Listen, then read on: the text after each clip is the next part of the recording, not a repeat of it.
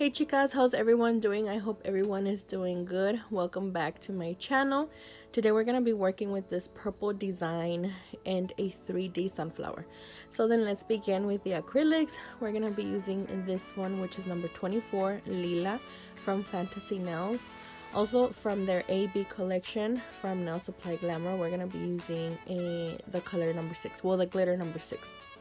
Also I'm going to be using Banana which I made and this one from Glam and Glitz which is called Martha. So then let's begin right here you guys. I already had my tips on. The tips that I'm using right on this particular um, video are the ones from Makartt. They're the full um, coffin tips. They are so good you guys if you want to do like um, like a full-on tip um, like um what are those called um I guess like a peel and stick. Um, I don't know, but if I remember, I'll put it right here, you guys. Um, but yeah, they're, they're really good for that. But what I did is just I apply, I glued them right on the tip of my nail, and I just pretended like if it was a regular tip. That way, it made it longer.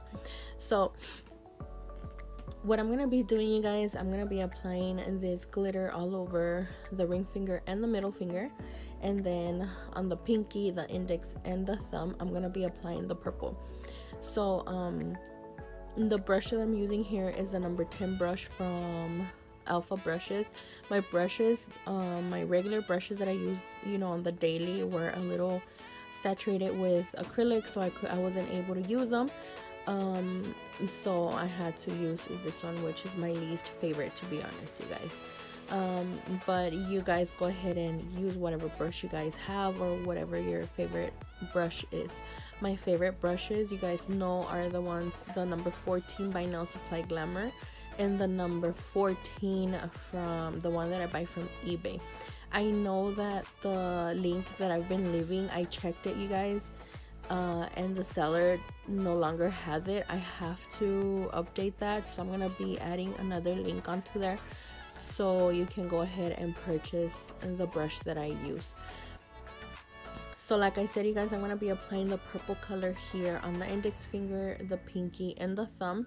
Um this purple color kind of marbles. You guys can see that it leaves like a white cast whenever I apply it to the nail uh, but once I brush it down like everything's fine. Everything's cool. You don't gotta worry. So yeah you see that purple cast? It kind of marbles. And then once I brush it down towards the nail it's gone. So if that's a problem for you I guess you can fix it adding a little more a little more purple or and a little more clear. I've seen that but I, me personally I have not done it um, but to be honest you guys that's not an issue for me. Um, there's one from Glam and Glitz a pink one that really marbles you guys and it's really like grainy. It's really it's oh my god i hate it. It's so weird. Okay chicas so i just picked it up and it's from their naked color acrylic collection and it's called pout. P-o-u-t i do not like this color you guys. I hate it i don't ever use it. Um i picked it up on ebay i believe. I bought it through ebay. Um but like the moment that i was swatching it on my swatch stick for my clients to see i noticed this right away. And i'm like uh, -uh i'm not gonna use it. I don't ever use it you guys. I hate it. I hate this color. Um other than that all of my glam and glitz are fine. They're good. I love them but this one i freaking hate it you guys. And i believe there's other ones from their naked collection that do this. Um i'm gonna try and see which ones you guys because i don't want you guys to be buying you know stuff that's not gonna work. Because this one you guys really honestly i do not recommend it. Okay so moving on. I'm gonna be capping all of the nails i'm using my glam my glam and glitz i'm sorry i got stuck on that. I'm using my nsi acrylic system my monomer and my clear my clear acrylic and i'm gonna be capping all of them. Next i'm just gonna be filing off camera and then I'm gonna be, be moving on to the 3D.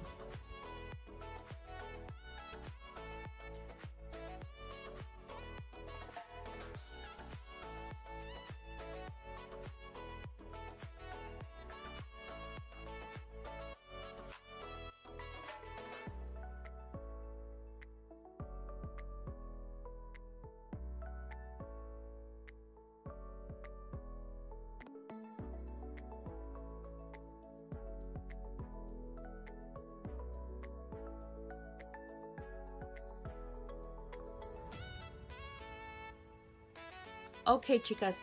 So now moving on to the 3D, I'm gonna be placing down a small bead of the brown and then I'm gonna wait for it to get a little bit of like consistency to like a Play-Doh consistency kind of and then I'm just gonna be like with the tip of my brush I'm gonna be kind of like I don't know how to describe it but you're gonna see what I'm gonna be doing here um, that's just gonna act like if it were to be a real sunflower you guys know that a real sunflower has like little little I don't know what you call them, but you can see what I'm doing here in the video. Um, and then I'm gonna be moving on to making the petals of the sunflower. This sunflower is super easy to do, you guys. If you guys haven't tried it, go ahead. It's really super simple to do. Um, all you need is a brown and a yellow and you'll be good to go. Like honestly, it is the easiest flower you could do. I know it looks hard, um, but remember, practice, practice, practice, and trust me, guys, you'll get it super, super fast because it is super simple. So all I do is place a small little bead of the yellow and then I kind of pull like downwards or outwards and then I start molding it on the sides. You can see what I'm doing here. And then I'm gonna be doing another one like in the center and then another one on the top just so that I can see um like just so that there's no like bald spots on the flower if, if that makes sense. Um so that's all I'm gonna be doing you guys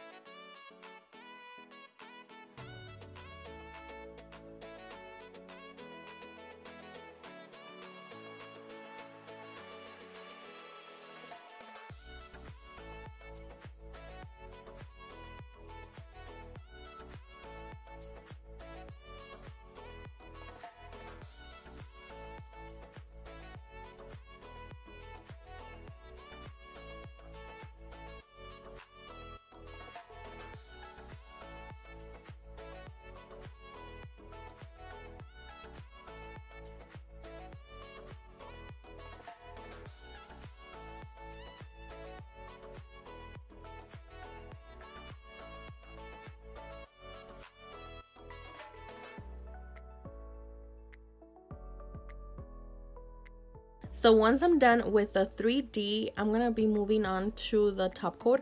This one is the one that I've been using lately, you guys. It's the NSI Glaze and Go. And I'm to be top coating all of the nails um, on the on the finger on the nail i'm sorry with the 3d make sure you don't touch the 3d i well you know i guess it's just personal preference but the without the top coat on top of the 3d it makes it more realistic you guys. It makes it more like a real flower. If you go ahead and add top coat to the 3d kind to the 3d i'm sorry it kind of looks funky. It does not look nice at all. Well like i said it's just personal preference. And i've seen other techs that don't top coat them you guys. So um that's just a tip that I'm giving you. If you want your 3D to look more realistic, don't top coat it. So just go around it as if it were um, like crystals. You you know that crystals you don't top coat them. So yeah, you guys, this is it for today. I really hope you guys enjoy it. Um, I really did like it. I honestly liked it a lot. Um, make sure if you're new to the channel, please subscribe. Welcome to the family. So don't forget to leave me a big thumbs up, a comment down below, and turn on your post notifications that way you'll be notified whenever upload I upload a new video. So yeah, you guys, um I guess I'll leave you guys for today. Uh take care, stay safe, God bless. and don't go out if you don't have to so yeah you guys bye bye